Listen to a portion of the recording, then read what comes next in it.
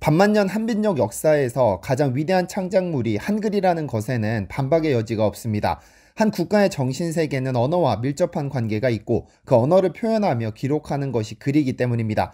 언어는 그 나라의 어리기 때문에 국가의 흥망성쇠와 연결되는 것이고 문화 창조의 원동력이 됩니다. 한글이 국민의 글이 되었기 때문에 대중교육이 가능했던 만큼 결국 한글이 국력의 원천이 됐음을 부정할 수는 없죠.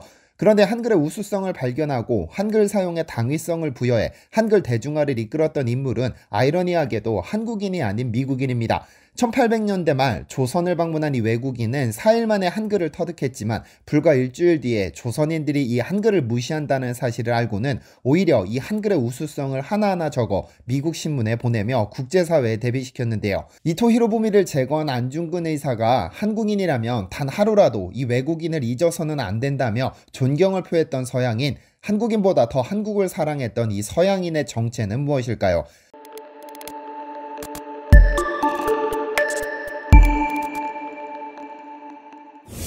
안녕하세요. 디스멘터리입니다.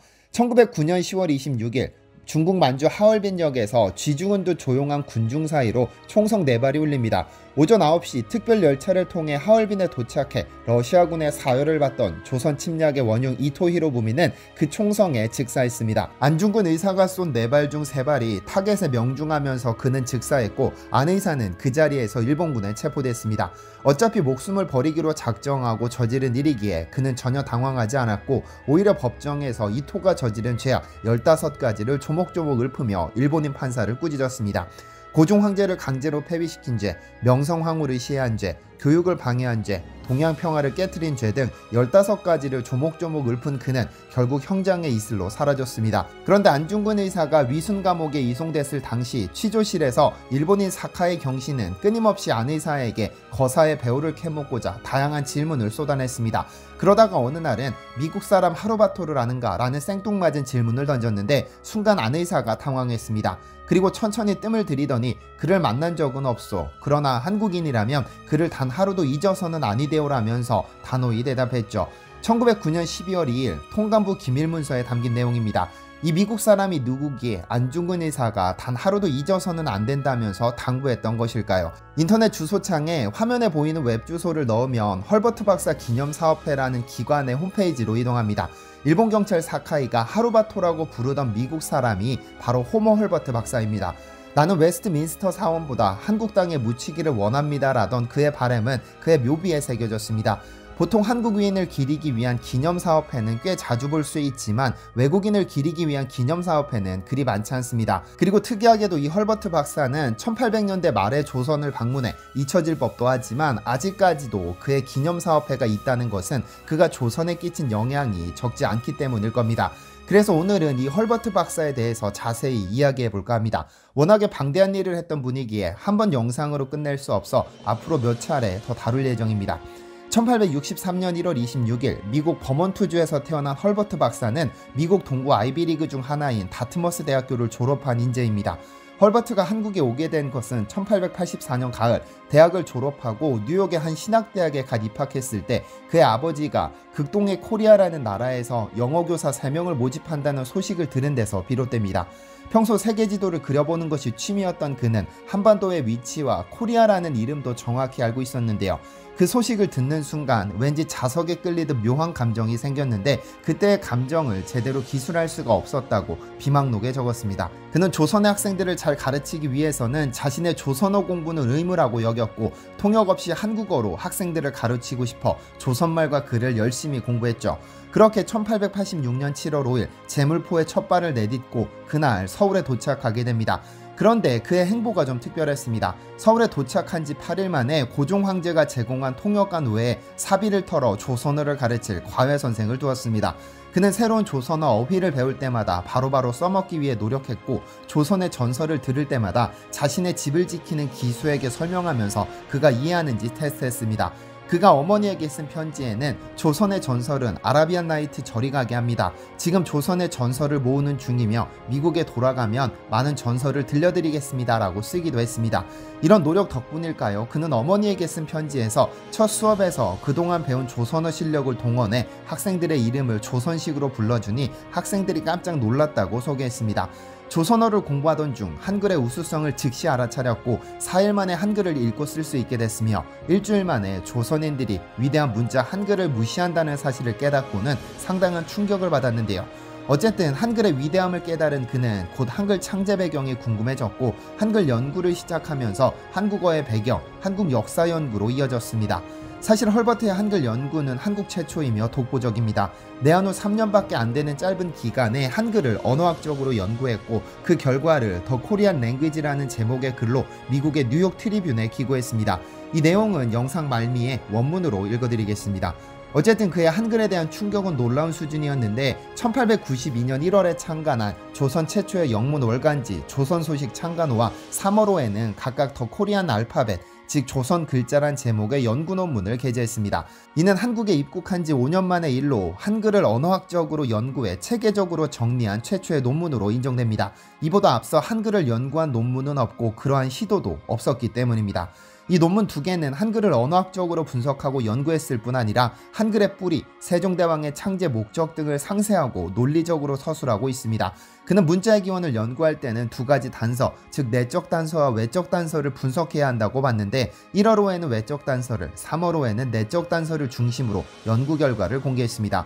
헐버트 박사는 1월호에서 언어는 자연적 산물이고 문자는 인공적 산물이다라면서 문자의 분석 기법을 소개하면서 한글 창제 당시 한국이 다른 아시아 민족과의 관계를 세세하게 소개했습니다. 또한 당시 조선이 처한 현실과 환경도 구체적으로 묘사했죠. 그는 조선 초기 임금들은 낡은 관습을 쓸어버리고 그 자리에 중국의 모방이 아닌 완전한 새로운 관행을 세우는데 대부분의 시간을 투자한 것으로 보인다고 분석했습니다.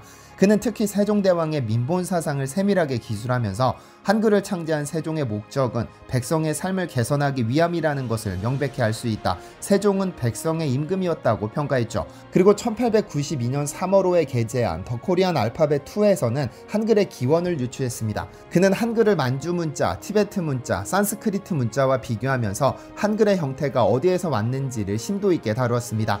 헐버트는 한글이 각진 문자라는 점에서 볼 때 만주 문자, 티베트 문자, 산스크리트 문자와 근본적으로 다르다는 구체적인 증거를 제시했습니다. 그는 한민족은 글자를 조합하는 방식으로 창조하였으며 대기음 및 된소리 표기법을 고안했다.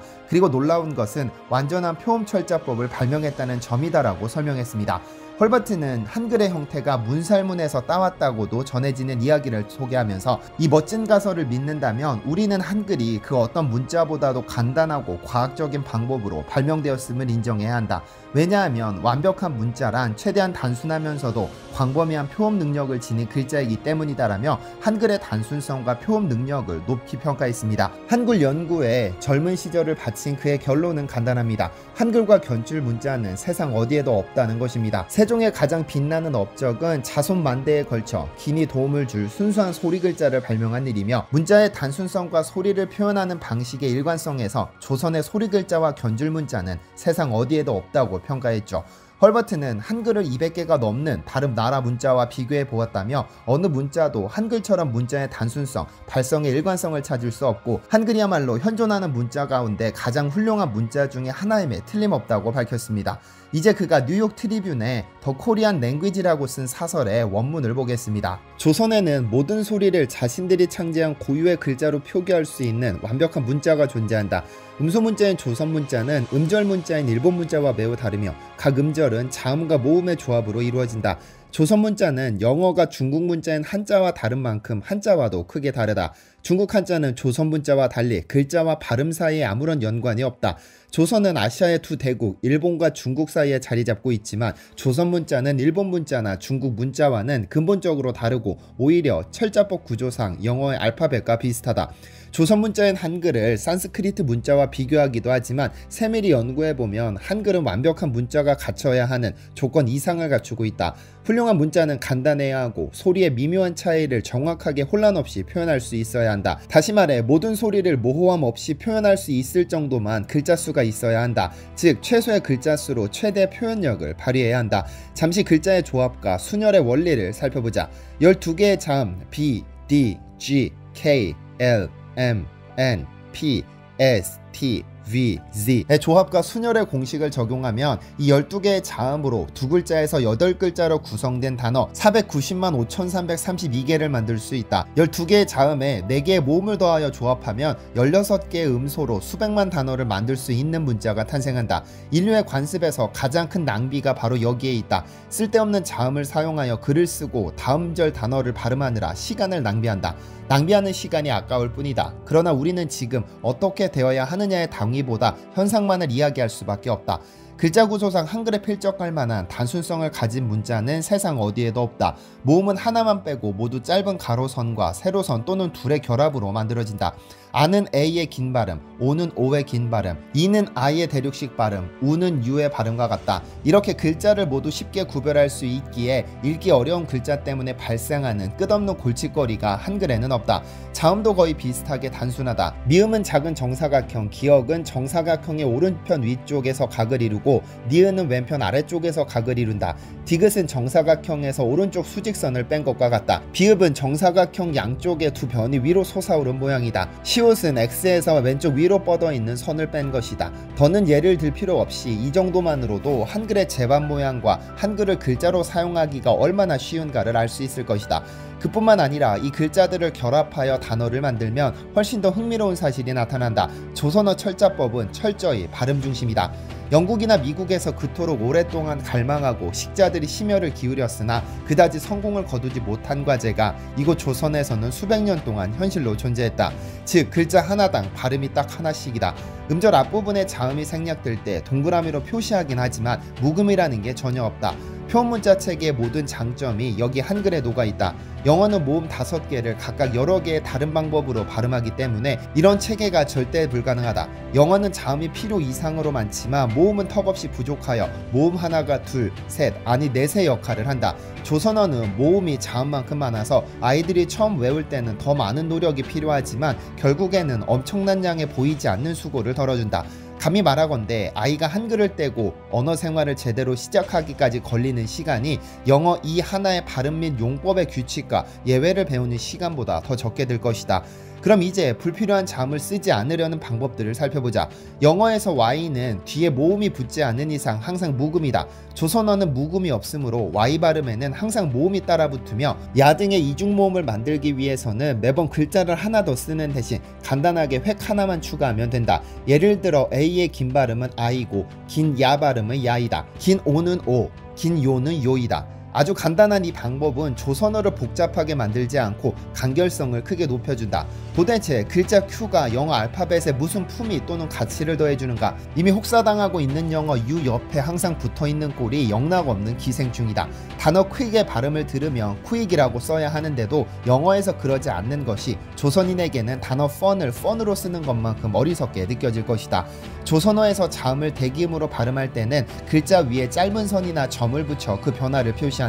조선어에서 활음조 현상은 영어에서와 매우 유사하다. 입술 소리 두 개가 이어질 때는 흔하게 같은 소리가 되거나 또는 겹친 이소리 또는 목구멍 소리가 되기도 한다. 구문론으로 넘어가면 조선어와 영어의 차이가 더 두드러진다. 조선어 문장의 일반적 구조는 라틴어와 흡사하여 동사가 끝에 온다. 주어의 수식어는 모두 주어 앞에 오고 동사의 수식어도 모두 동사 앞에 온다. 수어의 시제, 조건, 원인, 양보 등을 나타내는 절들도 주어 앞에 온다. 영어 문장 하나를 조선어식으로 배열해 보겠다. If there is anything to be done, I think the servant who is at the gate had better do it. 만약 어떤 해야 할 일이 있다면 나는 문 앞에 서 있는 하인이 그 일을 하는 것이 좋다고 생각하오. 조선인은 이 문장을 다음과 같은 순서로 말한다. Any to be done work is if my opinion in the gate at being servant it do it will be good. 어떤 해야 할 일이 있다면 내 생각은 문 앞에 있는 하인이 그것을 하면 좋겠다. 상당히 어색하게 들리고 영어보다 간결하게 보이지도 않지만 이 의사를 표현하는데 영국인들은 20단어를 써야 하지만 조선인들은 13단어만 쓰면 된다. 위에 문장을 예로 들어 조선어의 구조적 아름다움과 단순성을 보여주겠다. 우선 전치사들이 모두 역설적이게도 뒤에 놓여 있음을 알아챘을 것이다. 영어에는 격, 어미와 전치사가 있지만 조선어는 격의 구분, 숫자의 구분, 명사와 동사의 관계 등을 후치사로 표현한다. 주격 명사를 만드는 데는 한 종류의 불변 어미만 필요하며 또한 속격, 역격, 대격, 혹격, 탈격, 족격 등은 대격은 자체적으로 불변 어미를 지니는 특성이 있다. 더욱이 화름조 현상이 일부 존재함에도 불구하고 모든 영사의 어형 변화는 한 가지 방법으로만 이루어진다. 조선어는 이처럼 후치사가 많아 모호한 구석이 거의 없다. 물론 이는 공부해야 할 것들이 많다는 뜻이기도 하지만 후치사는 각각 하나의 뜻만을 가지며 배우기가 영어의 접두, 전미사만큼이나 쉽다. 영어 단어 대시나 투의 용법이 얼마나 다양한지 생각해보라. 필자는 세 개의 단어를 배우는 것이 한 단어의 세 가지 용법을 배우기보다 쉽다고 본다. 영어 단어 업이 동사와 함께 쓰였을 때 갖는 의미가 몇 가지인지 세어본 적이 있는가? 20개가 넘는다는데 동의할 것이다. 영어는 개선해야 할 점이 분명 너무 많다. 조선어 동사를 잠깐 살펴보자. 이는 조선어 문법에서 가장 중요한 부분이다. 조선어는 수 또는 인칭의 구분이 없다. 생각해보면 모든 동사의 주어가 있는데도 불구하고 동사 자체에 숫자와 인칭의 구별 부호를 반복적으로 사용할 이유는 무엇인가? 이 점에서 조선어는 영어가 라틴어보다 앞서 있는 만큼 영어보다 앞서 있다. 조선어에 불규칙 동사 따위는 없다. 어미를 한번 배우고 나면 누구든지 곧바로 모든 동사의 어형 변화표를 어간만 가지고 만들어낼 수 있다. 바로 여기에서 나타나는 조선어의 엄청난 장점을 이해하기 위해 필자는 영미인들에게 영어의 불규칙 동사가 얼마나 많은지를 떠올려 보라고 말하고 싶다. 프랑스어와 독일어, 특히 히브리어의 불규칙 동사들과 씨름해본 사람이라면 누구나 불규칙 동사가 전무한 언어를 찬양하지 않을 수 없을 것이다. 필자는 조선어 동사 어형 변화 형태 전체를 쭉 연구해 본 적이 있다. 하지만 여기서는 그 형태 및 구조를 대략적으로만 제시할 수밖에 없다. 주라는 조선어 단어는 준다라는 뜻의 동사 어근이다. 현재 시대의 어근도 그냥 주이다. 음절 개를 더하면 주개가 되며 이는 미래 시제의 어근이 된다. 음절 어를 더하면 주어가 되고 과거 시제의 어근이 된다. 직설법 형태의 어미는 모두 다이지만 어간과 어미 사이에 음절 난이 들어가서 준한다가 되고 이를 준다로 줄여서 말한다. 이는 곧 영어 I give와 같다. 주게난다는 주겠다로 줄여서 말하며 영어 I will give와 같다. 주어난다는 주었다로 줄여서 말하며 영어 I gave와 같다. 여간이 자음으로 끝날 때는 당연히 현재 시제에서 난이 그대로 유지된다. 현재 분사는 단순히 현재 시제 어간에 난을 추가하여 만든다. 미래 분사는 현재 시제 어간에 글자 리을을 과거 시제는 니은을 추가해서 만든다. 분사는 관계절을 대신하면서 아주 특이하고 흥미로운 방법으로 쓰인다. 예를 들어 갈 사람은 the man who will go를 뜻한다. 가는 동사 고의 어간이며 여기에 단순히 리을을 추가하면 who will go의 의미를 갖는다. 이는 the about to go man 이라고 말하는 것과 같다. 같은 방식으로 가는 who went를 뜻한다. 조선인들은 bring the large book which is in the house in the study on the floor behind the table 집안 서재 책상 뒷바닥에 있는 큰 책을 가져와를 the house in, study in, floor on, table behind, being large book bring 집안, 서재안, 바닥 위, 책상 뒤에 있는 큰 책 가져와라고 말한다. 양보, 원인, 조건을 나타내는 절은 단순히 동사 뒤에 각각 도, 니까, 면이라는 어미를 추가하여 만든다. 영어의 동명사 형태는 어간에 기, 미, 지를 붙여서 만든다. 따라서 보기 좋다는 it is good to see를 말한다. 다만 위 세 가지 어미는 각각 별개의 의미를 갖는다. 조선어 간접화법에는 라틴어, 독일어, 프랑스어, 영어에서 접할 수 있는 함정이나 위험이 없다.